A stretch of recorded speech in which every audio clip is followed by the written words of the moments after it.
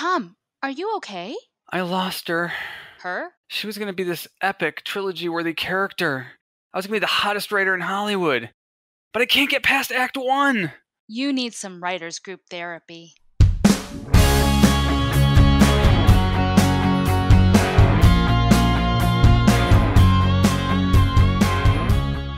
Hello, and welcome to Writers Group Therapy. I'm Tom. And I'm Roshni. We're writers helping writers. Are you ready for your session? The doctors are in.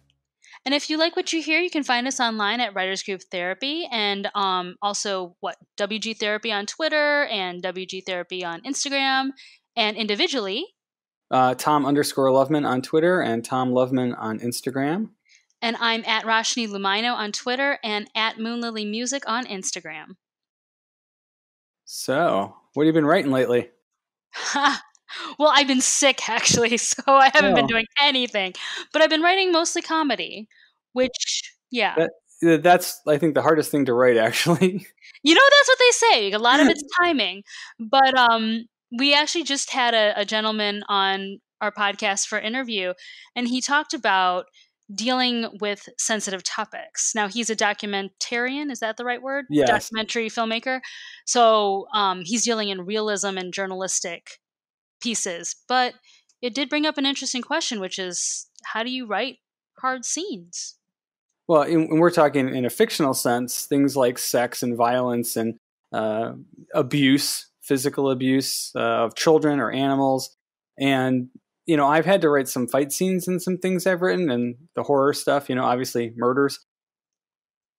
And I, I usually it just comes out of the story for me. I don't think uh, I think I think what my problem is about it is I don't write it hard enough. Like I don't write as, vi- as violent as I could go or as sexy as I could go. I think I'm a little mild mannered, so I don't know how you get past that and really get gritty because you go you see movies with violence and sex and what do you you know when you get that awkward feeling when you're in the movie and you see that you know it's like it's it's awkward to see it how awkward is it to write it you know i'm trying to think now what's the last thing i saw that really was like ugh and i think it would be i mean this is not on that spectrum that bad, but Santa Clarita Diet is very graphic in terms oh, of yeah. blood because she's a zombie. Spoilers, people, but she's a zombie, and so she's eating, you know, all this raw meat, and then she starts eating people, and so there's all, a lot of blood. Yeah, a lot of um. In the beginning, she vomits, and she like oh. it's projectile vomit like all over the bathroom. It's really disgusting, but that's not.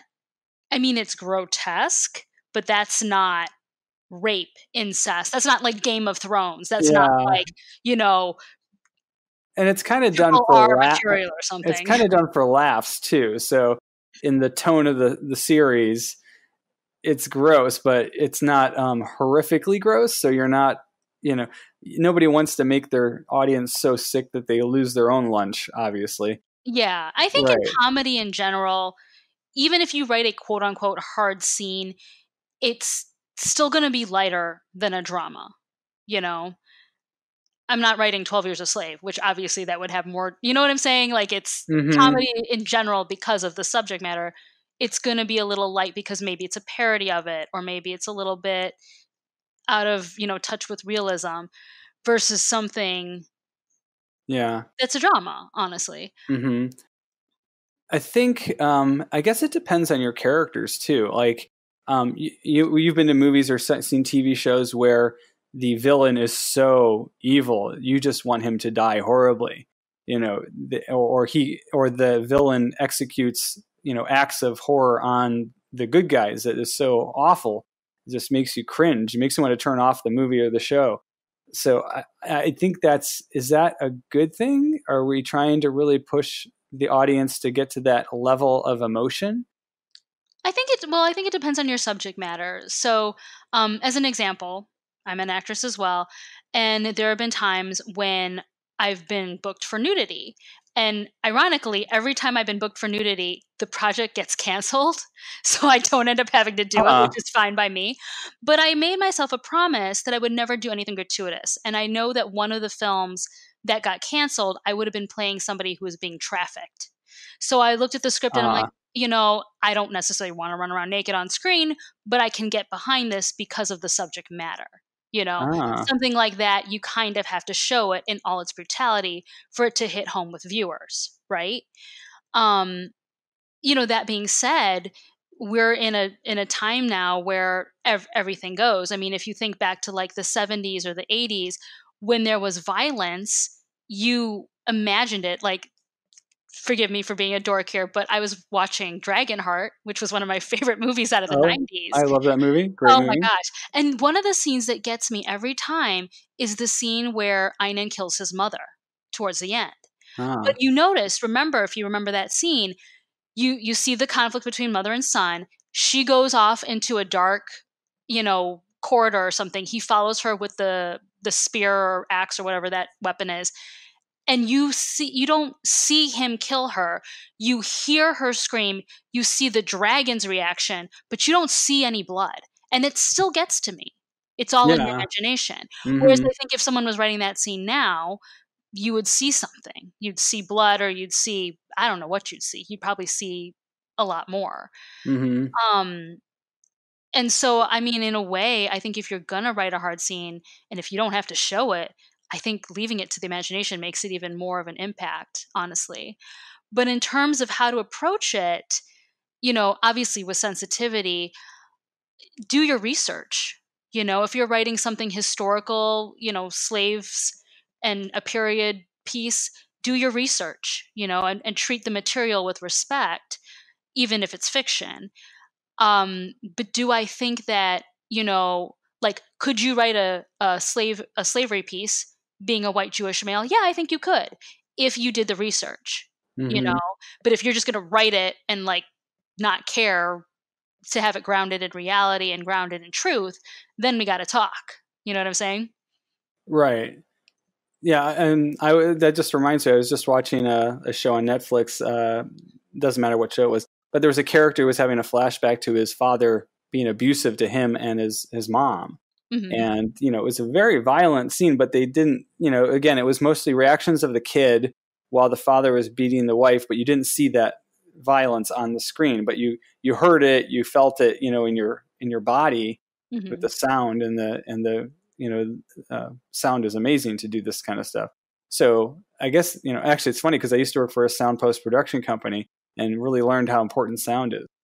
By using sound you can actually affect the audience with these horrific feelings without having to physically physically show the uh, the action. Yeah. One of the other really great scenes um, that's hard to watch and i'm sure it was hard to be in uh, have you ever seen the accused with jodie foster? No. She's basically raped on a uh, it's a pinball machine in a bar and it's very brutal and visit you can see pretty much the whole thing happen. It was uh you know it was i think she won an oscar for it i think. At least she was nominated I'd have to check that. But um it was a, that was a tough movie to watch but it was you know it was about a victim trying to get you know justice. So it was done you know extremely graphically to really show the audience how visceral and how difficult that is how hard that is you know and Mhm. it, it makes you very very uncomfortable. Yeah. And i think that's why when i write i don't write things super hard like that because I, it makes me too uncomfortable. So i guess i have to get over that if i want to write really strong scenes that can create that you know feeling you want in the audience. I mean i think if you're gonna if you're gonna go there then have a reason for going there you know? If you're gonna write a rape scene if you're gonna write you know uh, an abuse scene or something that and you're gonna write it really graphically especially then have a reason for going that far. Not to be gratuitous Oh, not yeah. to be like look i can write a rape scene but because you're trying to make a point with what you're writing and it may and it, it has to matter to the story. You know if you took if you took that scene out then you wouldn't have a story. It has to matter to the story if you're going to do it at all. That's how i feel about it. Yeah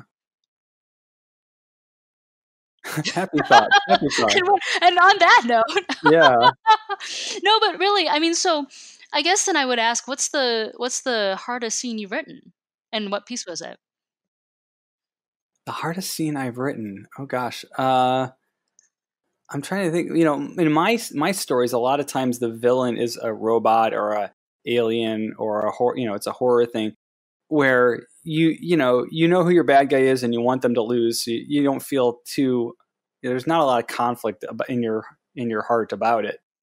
Mm-hmm. But uh, I don't think I've. Re- you know, it's like I'm probably like really PG 13. People probably would look at my stuff and say you're not really uh, anyone who could really claim to be someone who writes really graphic things. Yeah, I, I don't have a good answer for that because I don't think I've gone that far yet. You know what? For me, this is going to sound really weird because it's not quote unquote graphic, but I was working on a comedy, not satire really, but just a comedy web series based on my experiences in the Christian music industry. And as much as I love Christians and Christian music, there is a lot of things you can parody because, you know, Christians say the darndest things kind of thing. And so I had a lot of weird experiences being a minority in that field. And it was hard to write about it sensitively where I wasn't, because I, I've noticed especially Christian media, and I'm putting quotes around this, can be very polarizing. It's either like, you know, everything's great if you become a Christian and like everybody else is horrible and it, and then no non-Christian wants to watch it or it goes on the other end like saved where it's like you're making so much fun of that faith that like you who wants to be a christian? Nobody. And so i was trying to find a way to deal with both sides properly and like irreverently on both sides and yet sensitively. And it's hard. It's a really hard thing. And you don't think about yeah. it but so it wasn't like a you know a hard gritty thing to write, but it was just hard to write about both sides sensitively without feeling like I was too much in one camp or the other, if that makes sense. No, yeah, that makes sense. I, I haven't had that kind of experience. My first TV pilot, though, um, I had to kill a bunch of people. It was, well, uh, yeah, it was, uh, it was a situation where there was a terrorist attack on a, um, basically a, a, a military base, and there were a bunch of people just you got you know kind of you set it up with all these people that you you you kind of get to know them a little bit, and then you blow them up, and basically the carnage of that terrorist scene is left out. It's kind of like it happens, and then we cut away to somewhere else, and then there's the dealing with the aftermath of it. The rest of it takes place at a hospital where they treat people. So there's a little bit of gore in that blood violence trying to save everybody, but I didn't include the actual, you know, catastrophe as a visual in the scene. Um, there's a missile comes in, that's cuts. You know, it kind of cuts away. Maybe that's for budget. I did that. didn't want to didn't want to blow something up actually on screen because that would cost a lot more money. So, how about for all of you? What's the hardest thing you've ever had to write? Let us know and let us know how you handled it. At WG Therapy on Twitter. And of course, if you like what you hear, subscribe and share it with your friends. We'll see you next week.